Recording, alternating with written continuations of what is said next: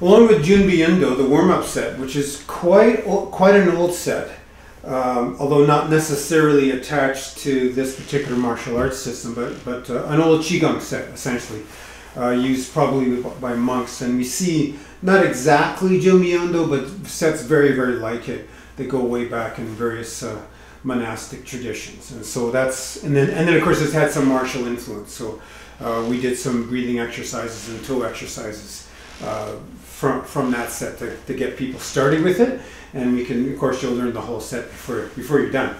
Uh, another uh, somewhat older set, not as old as Junbi Undo though, uh, more modern, is called Hojo Undo. Hojo, my understanding, means something like supplementary. And so what that is, is a bunch of movements from the kata curriculum um, that have been isolated for individual practice. So, for example, kicks. So if you started Kanshiwa, uh, you've got two kicks to, to, to work with there. You get to do a kick on either side of this side kick, so kutugari, and then once you get to do a circle front kick in the kata. So if you want to practice 20 side kicks, you're going to have to do 10 Kanshiwa katas. And if you want to practice 20 front kicks, you're going to have to do 20 Kanshiwa katas. Or you could isolate those movements. And of course, you could isolate any movement uh, and, and just do them repetitiously. So that's what uh, Hojo Undo does in a more formal way. So let's just look at those. So we can start in any stance we want. And we start with this as kind of our basic fighting position. we're going to do our circle block movement as if there was something from the front. So we're going to guide block into the center and kind of reach forward and down with the other hand. Circle. And normally our circle would end right back where we started. But in the case of this Sokuchogari side kick, it's like somebody's going off to the side and we're following them. So it looks this way. And now in between our hands is our target. And so we're going to kick with the edge of the heel. And even thinking about the side of the, of the shin as a, as a weapon.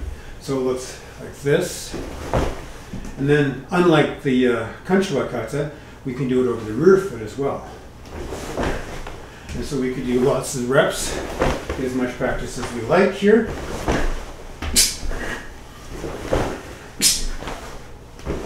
And then we can change sides.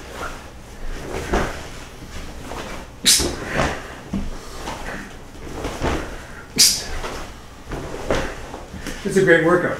Uh, the front kick, very similar.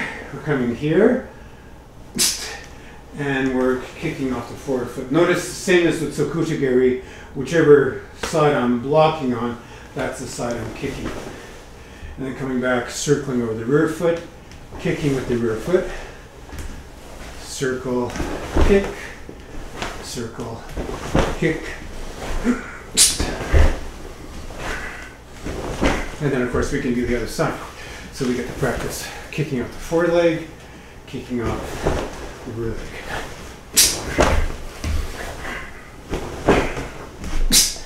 Uh, there's one other kick in the Hojo Undo curriculum, but you don't need to know it at this level necessarily. So let's move on to another movement. There's about 12 techniques, I think, or so, depending on how you count them in Hojo Undo. So just looking at one more that's really close to what comes up in Kanshiwa kata, where we circle over the rear foot, draw a shuto back, strike with the shuto, make a fist, strike with the back fist. Now this we don't do in Kanshiwa, but we do have some other shoken fist, single knuckle, knuckle punch. So in Hojo we put all three together. And in other um, kata sequences more advanced, we do all three of those together. So we circle over the rear foot, Shuto Uraken, Uraken, back fist, and Shoken, first knuckle punch. You know, each, he,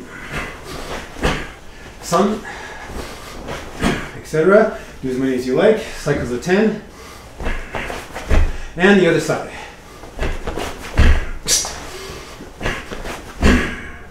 So those are, that's the beginning of the wonderful Hojo Undo set, which is just a great workout and a great way to, uh, in a lot of ways, you're emphasizing the stance because we, cause we stay in one stance for a long time. So it's a really great way to practice your stance and to study those movements with reps so you can really get inside of them. Okay, I hope that's helpful. I'll see you next time.